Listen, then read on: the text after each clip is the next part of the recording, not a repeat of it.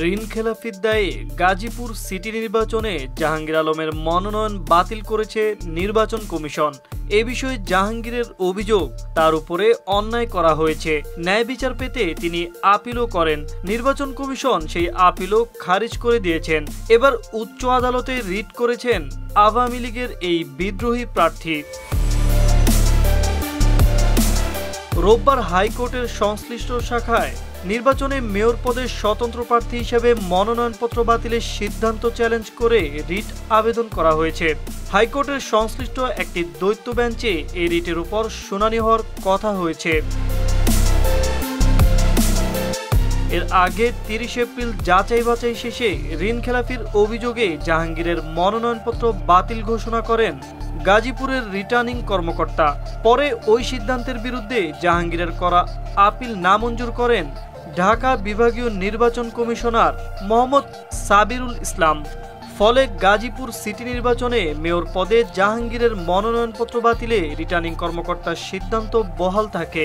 তবে আলোচিত এই নির্বাচনে মেয়র পদে জাহাঙ্গীরের মা জায়দা খাতুনের মনোনয়নপত্র বৈধ হওয়ায় ভোটের মাঠে এখনও রয়েছেন তিনি।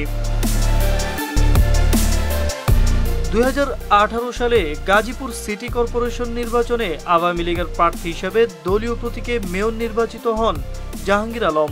তবে বঙ্গবন্ধু ও মুক্তিযুদ্ধের শহীদদের নিয়ে বিতর্কিত মন্তব্যের অভিযোগে তাকে দল থেকে বহিষ্কার করে আওয়ামী লীগ। এরপর জাহাঙ্গীর আলমকে গাজীপুর সিটি কর্পোরেশনের মেয়র পদ থেকে বরখাস্ত করে স্থানীয় সরকার মন্ত্রণালয়। তবে ভবিষ্যতে সংগঠনের স্বার্থ পরিপন্থী ও শৃঙ্খলা ভঙ্গ না করার শর্তে জাহাঙ্গীরকে সাধারণ ক্ষমা ঘোষণা করে ক্ষমতাসীন এই দলটি।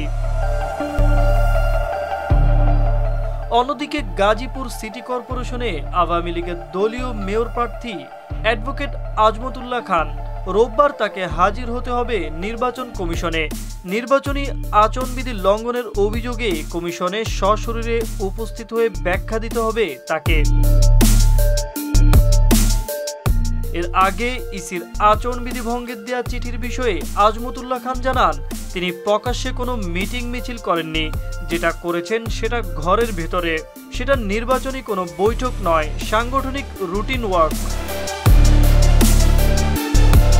আজমতুল্লাহ দাবি করেন, প্রতি মাসেই আওয়ামী লীগের যেমন সভা হয়ে থাকে, এটিও ছিল ওই ধরনের একটি বর্ধিত সভা। আর বর্ধিত সভায় শুধু আওয়ামী লীগ নয়, সহযোগী সংগঠনের নেতারাও থাকেন। সব কিছু মিলিয়ে গাজীপুর সিটির ভোটারদের নজর এখন দুইজনের দিকে। তাদের বিষয়ে কি সিদ্ধান্ত হয় তা জানার জন্য অপেক্ষায় আছেন সিটির ভোটাররা। সাদা কালো নিউজ